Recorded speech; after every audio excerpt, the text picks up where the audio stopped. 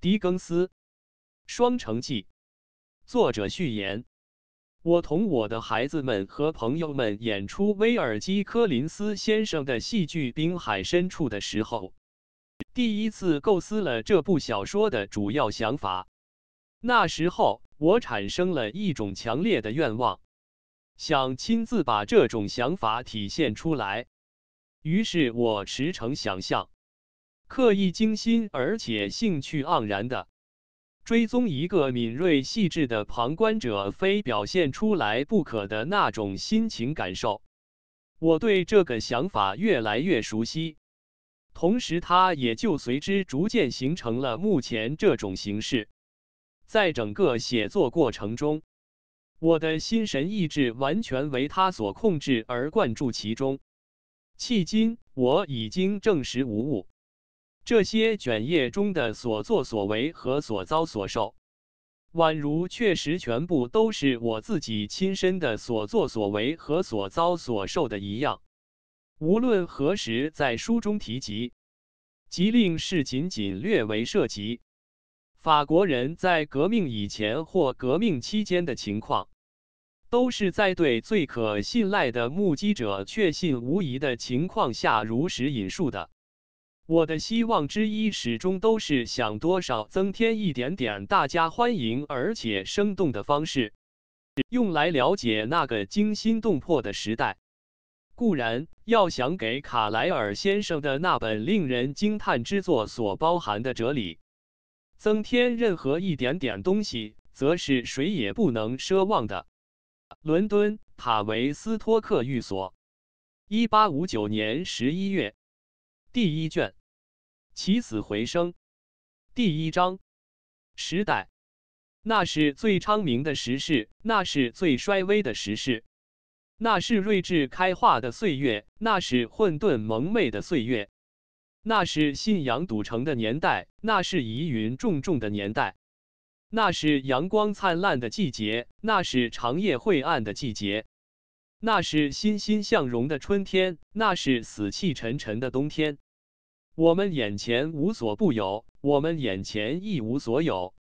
我们都径直奔向天堂，我们都径直奔向另一条路。简而言之，那个时代同现今这个时代竟然如此惟妙惟肖。就连他那叫嚷的最凶的权威人士当中，有些也坚持认为，不管他是好是坏，都只能用罪。字来表示他的程度。那时候，英国的宝座上坐的是一位的格方圆的国王和一位容颜欠佳的王后；法国的宝座上坐的是一位的格方圆的国王和一位容颜姣好的王后。在这两个国家那些享有高官厚禄的肉食者们看来，有一点比水晶还要明澈透亮。那就是江山永固，国运绵长。那是我主基督降生后的一千七百七十五年，在那个幸福的年代，英国正如现今一样，得到种种神灵的启示。索斯考特太太新近才过了他的二十五岁大寿，禁卫军中一个能够预言吉凶的士兵，早在他的大驾光临之前就已预先宣告。诸事已安排停当，就要淹没伦敦和威斯敏斯特。公鸡像的鬼魂叩击发出他的种种信息，然后遭到驱逐浮除，也只不过刚刚满了十二个年头。而在刚刚度过的这一年当中，那些精灵鬼怪又叩击发出他们的种种信息，与原先相似的令人惊异。真正符合俗世人间的信息，从美国那些英国治下臣民的一次会上发出，最近已经传到英国朝野。说来也怪，这些信息对于人类，竟比公鸡向鸡窝里随便哪只鸡雏传出的信息更为重要。法国从总的方面来说，有关神灵方面的种种事物。没有他那位以盾牌和三叉戟为记的姐妹们幸运。正在畅通无阻地走着下坡路，制造纸币，花用纸币。除此之外，他在他那些基督教僧侣的指导之下，竟取得了如此仁慈的成就，聊以自娱。诸如给一个年轻人判刑，剁掉他的双手，用钳子夹掉他的舌头，然后把他活活烧死，只因为他没有在雨地里双膝下跪，向从他眼前五六十码处走过的一对龌龊的僧侣致敬。很有可能在那个受难者赴难之时。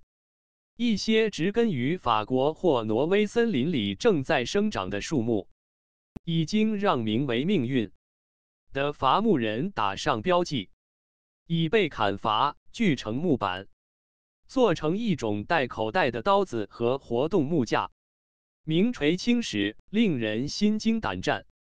很有可能在紧邻巴黎的那些年湿的土地上。一些庄户人家屋子外边搭的简陋窝棚里，有些做工粗糙的大车，就在那一天在那儿躲风避雨。这些车上溅满烂泥，肮脏不堪，猪鼻子在上面嗅来嗅去，家禽在里面栖止休歇。这些大车正是名为“死亡”的庄稼人搁置起来。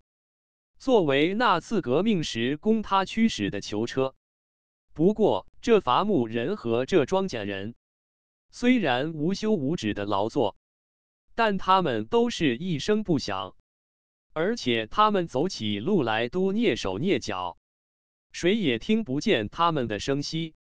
尤其是因为，如果有谁心存怀疑，以为他们已经觉醒。那么谁就要被视为谬天背神、大逆不道？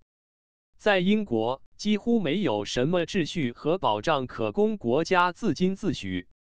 明火执仗的夜盗和拦路抢劫在京城之内夜夜发生，各家各户公然得到告诫，离家出城必须先将家具寄存家具商行仓库保管，以测安全。夜深月黑之时的劫路强人，正是光天化日之下的行商作假。他以头领。的身份拦截同路商贾，如果有人认出，并对他明确表示要较量一番，他就飒爽干脆地打穿他的脑袋，策马扬长而去。七个强盗拦住一辆油车。一个护卫打死了三个强盗，随后自己也被那另外的四个强盗打死。盖因弹尽之故，在这之后不动一刀一枪，油车就给洗劫一空。那位堂堂一亿之宰，伦敦市长大人，让一个强盗在特恩厄姆草坪截住。要买路钱，这位声威赫赫的人物就在自己护从的众目睽睽之下，让这个强盗搜掠殆尽。伦敦监狱中的囚犯和狱卒大打出手，于是司法当局用装好霰弹和子弹的火枪朝他们中间放射。小偷窃贼在王宫召见厅里。从贵族老爷们脖子底下把一个个钻石十字架捡走。火枪手进入圣贾鲁斯区搜查私货，于是乱民朝枪手开火，枪手朝乱民开火。谁也不认为这些事情有多么越乎常轨。在这些事情当中，绞刑力屡屡动用，虽说徒劳无益，却又仍然屡屡动用。一会儿挂起一排排各式各样的罪犯，一会儿在星期六绞死一个星期二被执的川渝盗贼，一会儿在新门监狱烧制成打人的手，一会儿在威斯敏斯特大厅门口焚毁宣传品。今天结果了一个罪大恶极的杀人凶犯的性命。明天又结果了一个偷了庄户孩子六个便士的小扒手。所有这些事情，以及成百上千件和这些类似的事情，发生在那令人怀恋的好时候一千七百七十五年，以及紧跟这一年的时候。就在这种种事情纷至沓来的时节，伐木人和庄稼人神不知鬼不觉地继续劳作，而那的隔方圆的两位国王，以及那容颜欠佳和容颜姣好的两位王后，则颇起劲儿的忙来忙去，以高压手段行使他们的神授权力。一千七百七十五年就是如此这般的。统领着他们治下的那些赫赫伟人和芸芸细民，沿着铺展在他们面前的条条道路行进。本书所述细民也忝列其中。